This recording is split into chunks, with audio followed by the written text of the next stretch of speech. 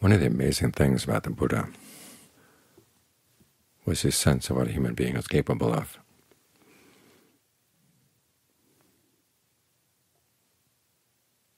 He looked at the pleasures he had, and realized they're all subject to aging, illness, and death. He himself was subject to aging, illness, and death.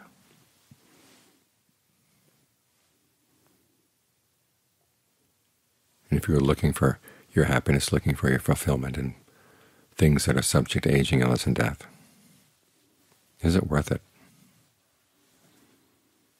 As you saw, everything that you might try to lay claim to had already been laid claim to by somebody else, which meant that you'd have to fight people off. He wondered if there was something that was better than that, something not subject to aging, illness, and death, something you didn't have to fight people to gain. And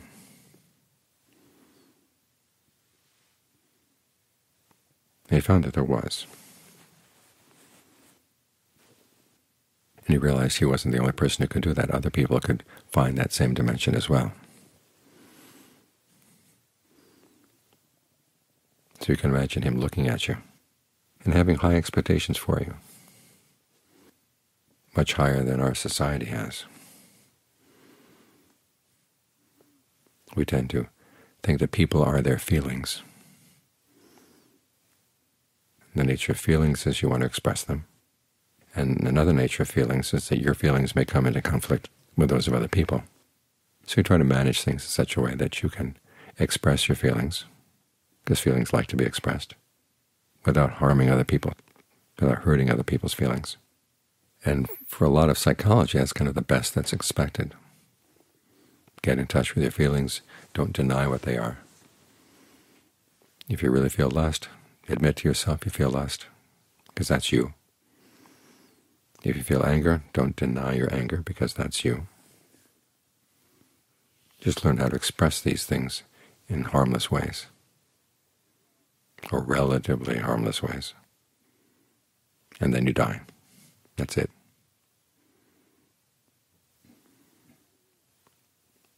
As the Buddha said, you're not your feelings. Feelings here, in term, terms of emotions, come under sankharas, fabrications, and the five aggregates. And he very clearly saw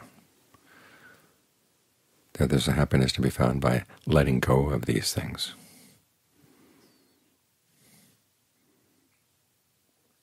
and found that it was possible to get beyond your feelings. So when he says to kill your anger, he's not telling you to repress it. When he tells you to overcome lust, he's not telling you to go into severe repression.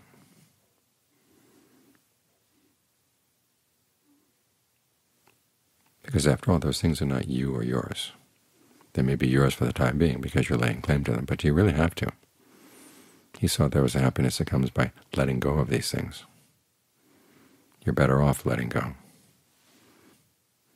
So we had a much larger view, a much larger sense of what human beings are capable of. And it's up to us to ask ourselves, which view do we prefer? Which provides more opportunities for a genuine happiness? Obviously the Buddha's.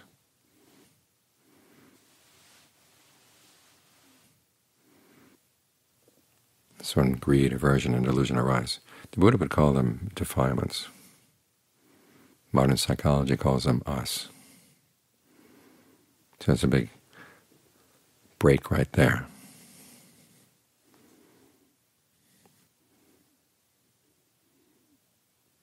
When greed comes up, when lust comes up, it's not necessarily anything that we have to identify with. When anger comes up, we don't have to identify with it. And in not expressing it and learning restraint around these things. We're not denying ourselves. We're redefining ourselves. And we don't pretend that they're not there. If you pretend that they're not there, then it gets unhealthy. You have to look them straight in the eye. And the best way to do that is to get the mind really quiet and to give it a pleasure that's not involved with sensuality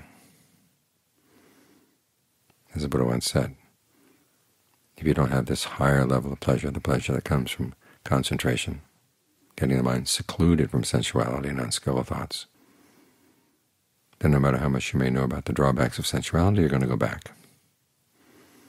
That's precisely the problem of modern psychology. They don't, they don't know this higher pleasure.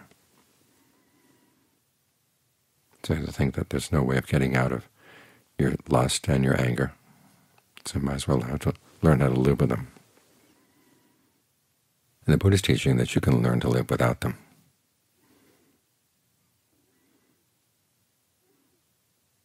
You have better things that you can do with your mind. First in the concentration, then with the insight that allows you to let go. Being very frank with yourself about how these things arise, what causes them to arise, and how they pass away. They're not there all the time. Remember that image the Buddha gave of the, the mind being like the sun, and then the clouds come and obscure it. The clouds are not the sun.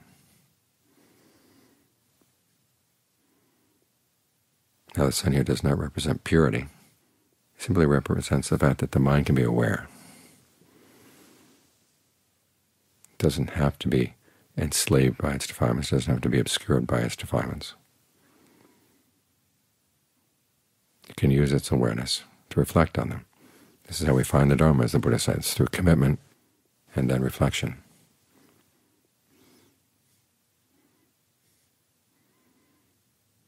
We commit to seeing how greed, aversion, and delusion come and how they go, why they come, why they go. And then we look at the allure. Why is it that when they go, we go back, dig them up again?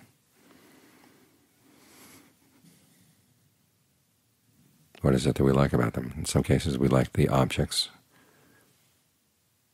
say the object of lust. So the Buddha has us contemplate. Is it really worth it?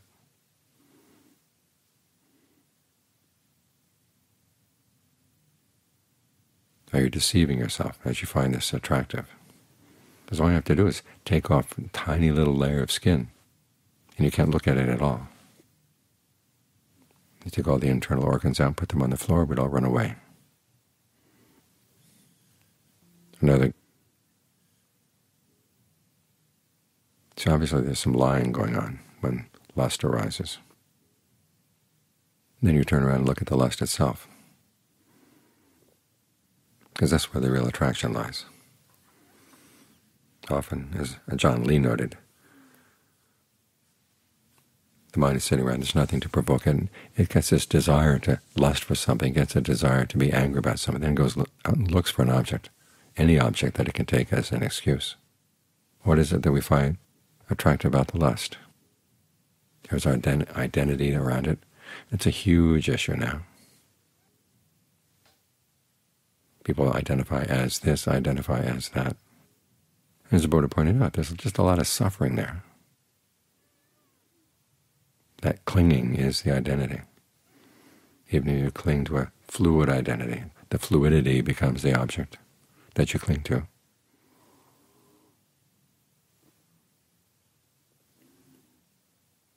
So you have to learn how to see all the narratives and other embroidery that you place on your on your lust. That's a form of suffering. The same goes with anger. We may not like the object, the person who's gotten us angry, but we certainly like our anger. People get very defensive about when they're told, as the Buddha said, to kill their anger. They say, well, there's righteous anger. And righteous anger is probably one of the worst.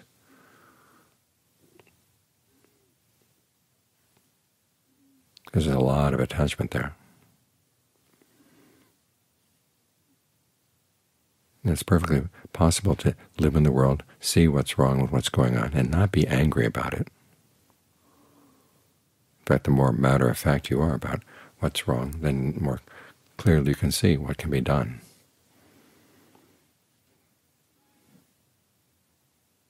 to correct whatever's wrong. But there's a certain fire to anger. There's a certain sense of freedom that your shame and compunction get pushed aside and you feel free to say anything that comes to your mind. The things that you wouldn't ordinarily want to say, you just say, okay, I now have the right to say it. Where does that right come from? Well, in the logic of anger comes from the fact that somebody else has done something outrageous. But the Buddha has you often reflect that what's the nature, say, of human speech? There's true speech and untrue speech. There's well-meaning speech and ill-meaning speech. There's truth. There's helpful speech and unhelpful speech. It's just the nature of human speech. So there's nothing extraordinarily out of line by things that are untrue and hurtful and unhelpful. So because they're not extraordinary, you don't get extraordinary rights to say and do and think what you want. And of course the problem is when you put aside your shame and compunction, then when they come back, you look at what you've done and said, there's a lot of regret.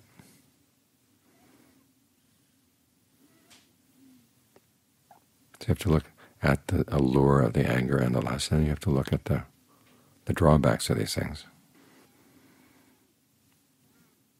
And remember what the Buddha said about where true happiness lies.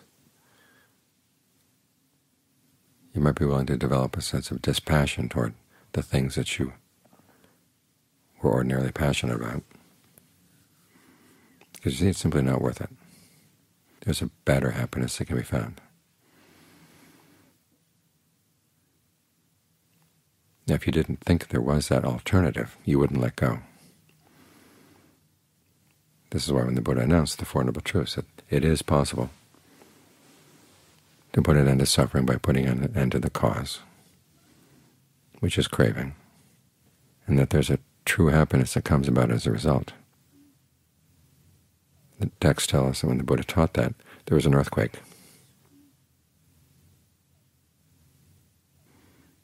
because that possibility shakes everything up. It's the possibility that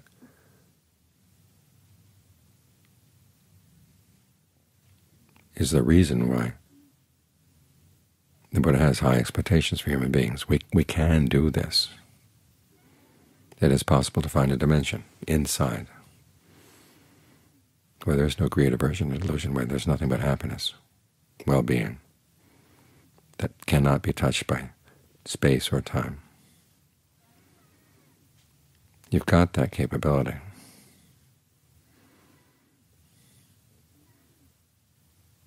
So don't allow the culture around you to get you to turn your back on it. To look at all your actions in the light of that possibility.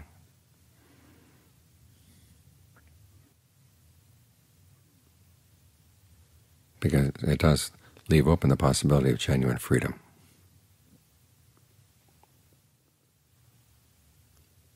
Something that uh, modern culture can't provide.